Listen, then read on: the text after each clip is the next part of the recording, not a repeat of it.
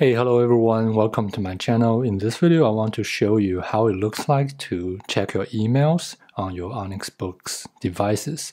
I'll test the Gmail app and the Outlook app, so which I assume are the most commonly used ones. And uh, I tried to use the default, the built-in email app, but it just won't let me to log in. I don't know why. Google blocked it. So maybe some bugs, maybe on my device, maybe, I don't know. Let's start with the apps. So here are just the two apps I downloaded from the Google Play Store. So Gmail here. So if your app does not look like this, don't worry. So that might because for both apps, you'd better to disable the by default on app optimization. So this one.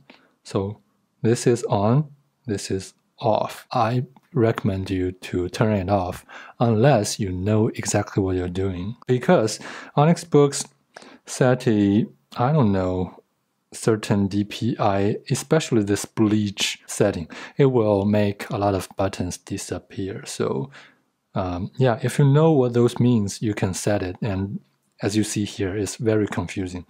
I'll try to make a video on that, but uh, right now you just switch it off, uh, both for both. Okay, so uh, Google, just for the clarity, let's try the normal mode first. Just give a full page refresh. So you can have your email here and you can read your email here.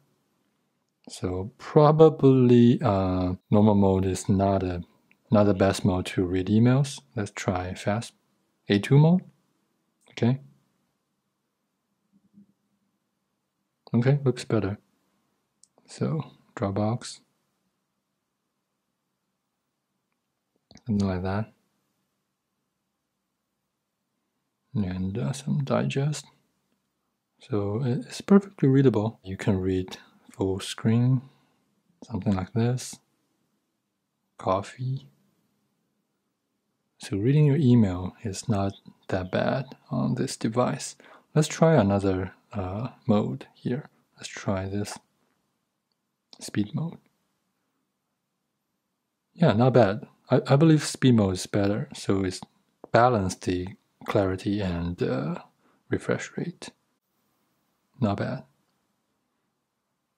So let's try compose.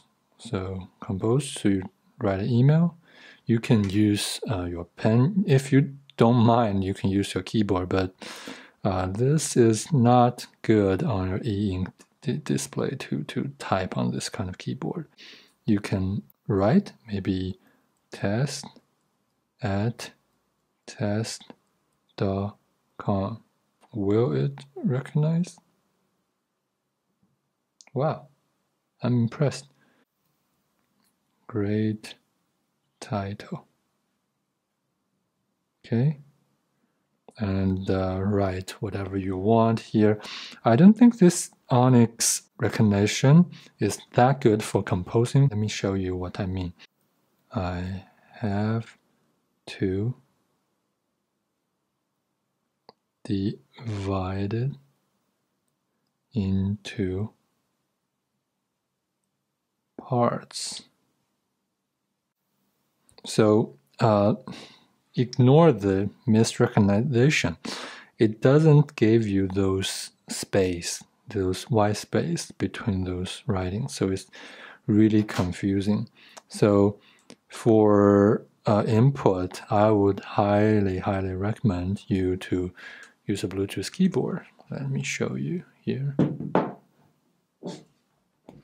So you hide the keyboard and you use I already connected I believe. Okay. Okay connected. So hide this um, typing on a Bluetooth keyboard is much better when you compose your email on Air. So yeah, this is really not bad at all. So if you type uh, fast and has have some you know typos or something, uh, maybe generally Google will catch that and you can make quick edits. So quick edit. Maybe that is too raw for them to to catch. Okay, yeah. So I hope to write something wrong.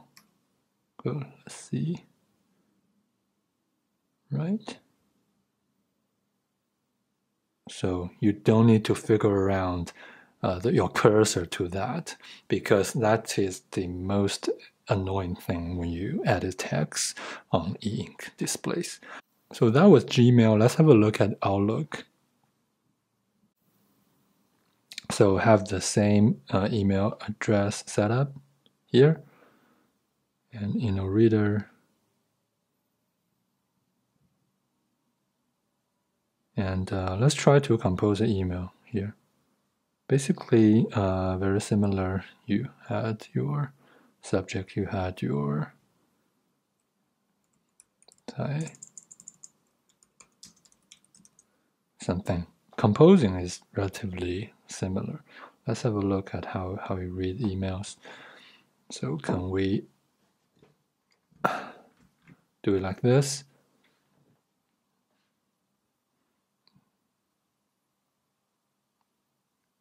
Yeah, and not bad. And you can read full screen. Let's have a look if we could change it to a clear mode.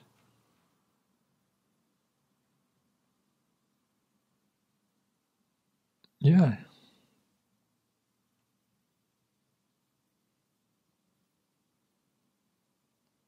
Yeah, it's it's cleaner when it's static, but it's not good when you scroll, right? So uh, maybe speed mode.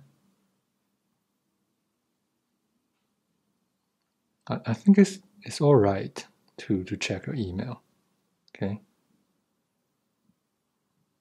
just digest some small text. Can we, I can zoom.